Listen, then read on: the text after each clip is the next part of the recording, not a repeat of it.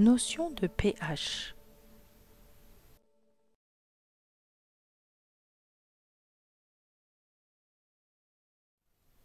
Le pH est une grandeur physique sans unité qui permet d'évaluer l'acidité ou la basicité d'une solution aqueuse.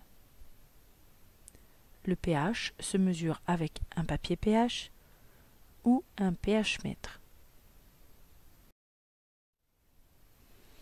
Le pH varie entre 0 et 14. Si le pH est inférieur à 7, la solution est acide. Si le pH est supérieur à 7, la solution est basique. Si le pH est égal à 7, la solution est neutre.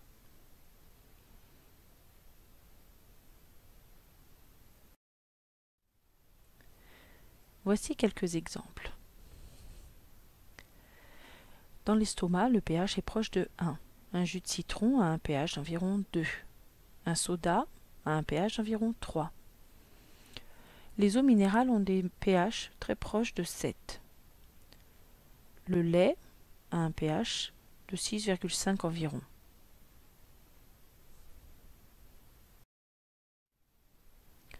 Le pH d'une eau minérale ou d'une eau de source est indiqué sur son étiquette.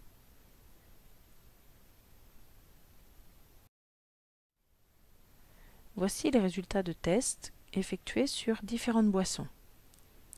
L'eau minérale d'Evian, par exemple, a un pH de 7,64. Le pH des boissons varie entre 3 et 8 habituellement. On peut quand même trouver des boissons plus acides ou plus basiques.